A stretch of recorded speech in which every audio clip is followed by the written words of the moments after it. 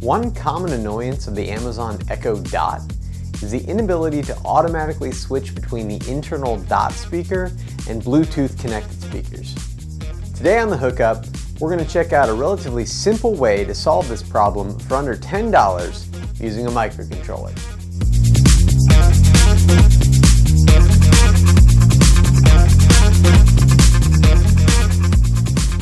To start out, let's take a quick look at the problem.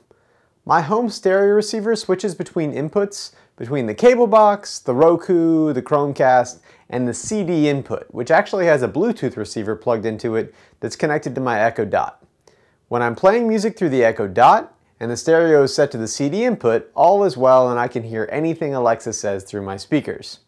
The problem comes when I'm on any other stereo input and the Echo stays connected to the Bluetooth receiver.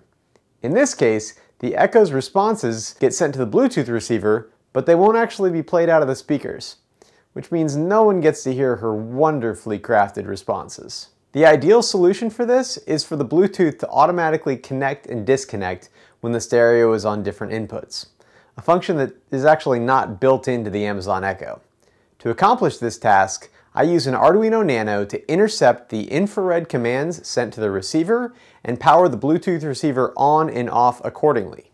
In order to complete this project, you'll need an Arduino Nano, an infrared receiver, an NPN transistor, a Bluetooth receiver, and of course an Amazon Echo of some kind. Optionally, you can get some prototype boards and some screw terminals if you want to make this thing easier to connect and disconnect. The basic circuit looks like this. We'll use the 1 amp 5 volt power supply from our Bluetooth receiver to power both the Arduino Nano and the Bluetooth receiver. In my case, I hooked up the positive wire from the adapter to the 5 volt pin on the Nano, and I did this because the power supply itself was regulated. But if you were using some other power supply with a voltage other than 5 volts, you'd need to hook it up to the V-in pin instead. We hook up the VCC pin on the IR receiver to the 5 volt and the ground to the ground, and then the output goes to D2 on the Arduino Nano. I've got the base pin on my NPN transistor connected to D3 on my Arduino Nano, the collector connected to the negative wire on the Bluetooth receiver, and the emitter connected to the ground. The basic idea of this circuit is that the base on the transistor controls whether or not current will be able to flow from the collector to the emitter. This means it will act as a switch for the negative wire on our Bluetooth receiver's power supply. Hooking up a transistor in this fashion is called a low side switch, and it's really useful. Whenever we receive specific commands on the IR receiver on pin 2, we'll write pin 3 high to allow current to flow through the transistor and turn the Bluetooth receiver on, or low to block the current flow and turn the Bluetooth receiver off. After you've got all this soldered up, you should have something that looks like this, and you're ready for programming. We're going to utilize a library in Arduino to read our IR commands. I'll put the link to that library down in the description. To load the library, go to Sketch, Include Library, Add Zip Library, and point it to the file you downloaded from the description. Next, load up the Arduino sketch that I've linked below and flash it to your Arduino Nano.